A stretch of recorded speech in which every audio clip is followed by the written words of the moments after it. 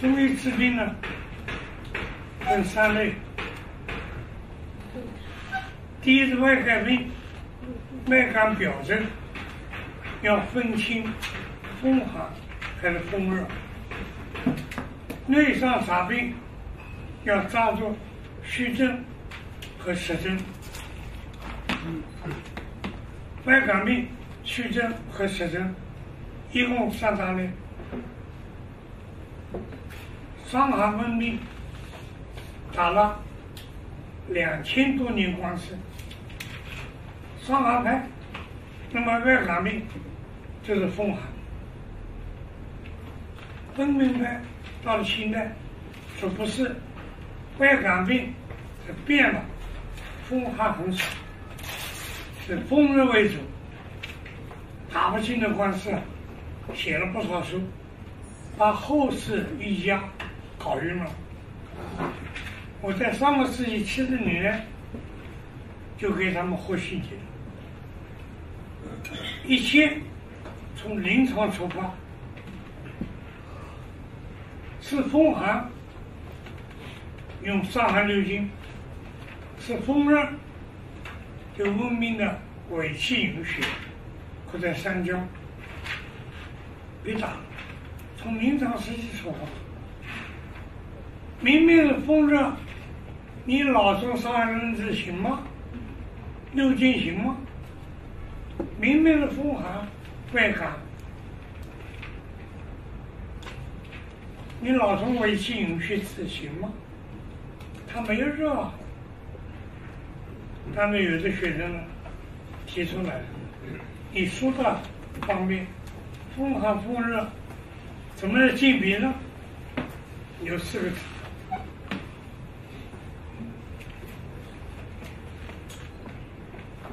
第一个就什么？风寒，太是不白的，脉是浮紧，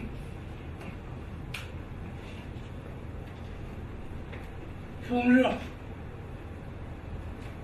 胎是不黄，脉是浮促。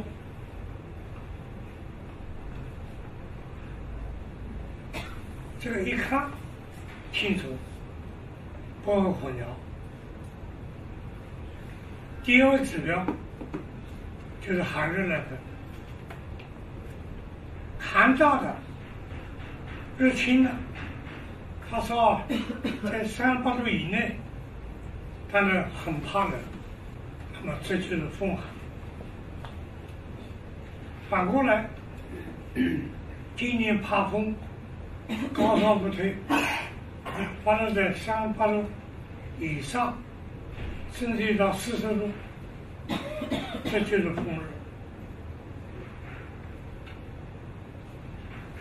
这个不不会搞错。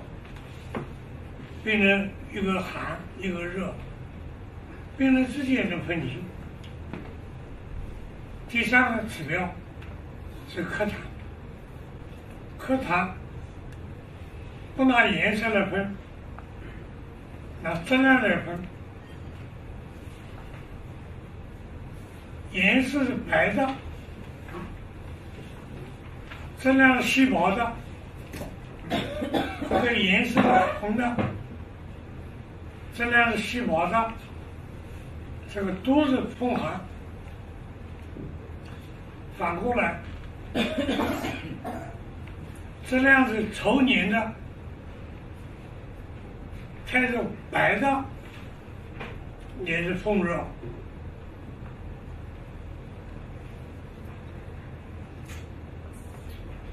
因为痰稠黏，颜色是白的，你按照风寒来温肺，用白芥子等一样西药是可待因，把痰憋在里边，反而引起喘。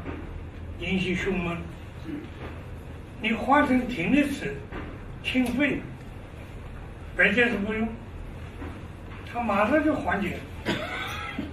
临床实际吞痰，不用颜色，用它的质量。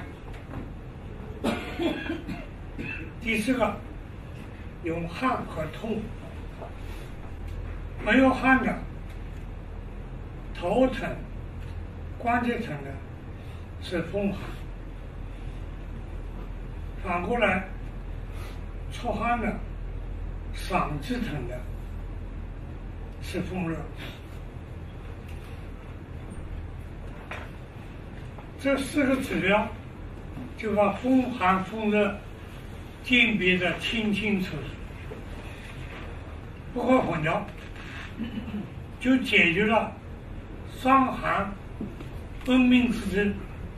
几千年争论不休，写了不少书，我给他从临床角度给他们统一了。听明白了没有？假如到了暑季，暑季啊，夏天。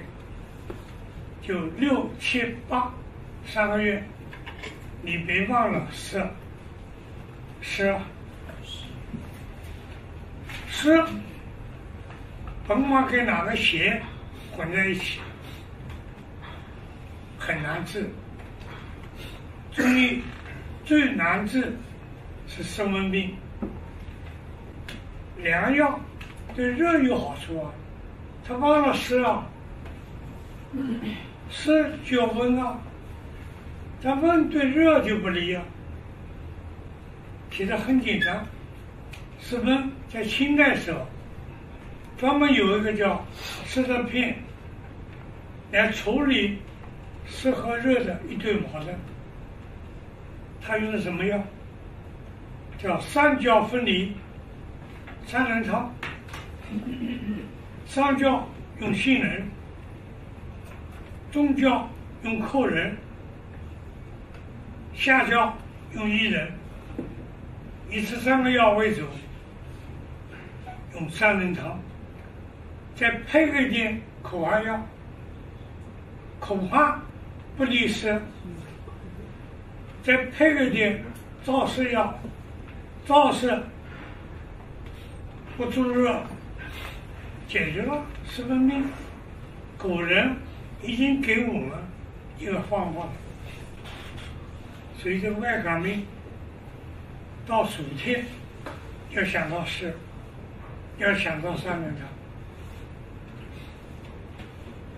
这样很简单，把外感病你基本上就有效。治疗胸闷结表，现在不用麻黄汤，因为麻黄的副作用。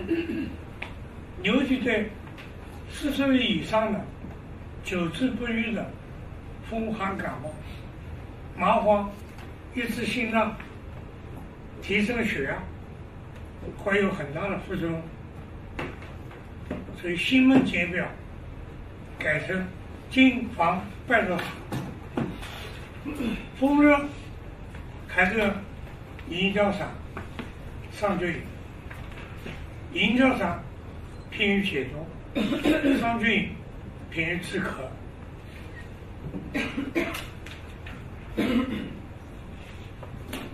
暑湿别忘了三仁汤，加上荷叶煲六味散，三十个六味散可以煲，中间加点盐一起熬，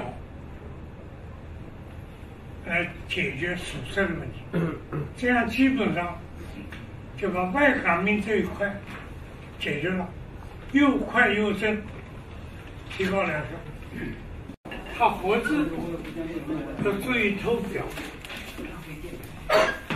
要加上川芎和桔梗、蝉翼，或者川芎，或者桔梗，或者蝉翼。但穿胸呢，注意量，这种十克以内，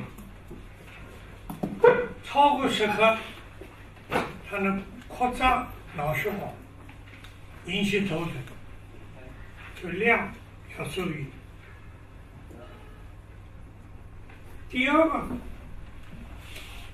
要注意分离，败血啊，一定要从大小便给它分离，排出体外。小便用的药，用白花蛇草、车筋草；大便用的药，这是草菌类，菊花和当归。要重视分离。第三个要强调扶正，要加味补气药。这是古方里面生疏饮啊，治了外感用生疏饮啊，输液针对外感，加人参，一颗一味药，用黄芪、生黄芪。或者白扁豆，或者信用草，来扶正、推动血排出体。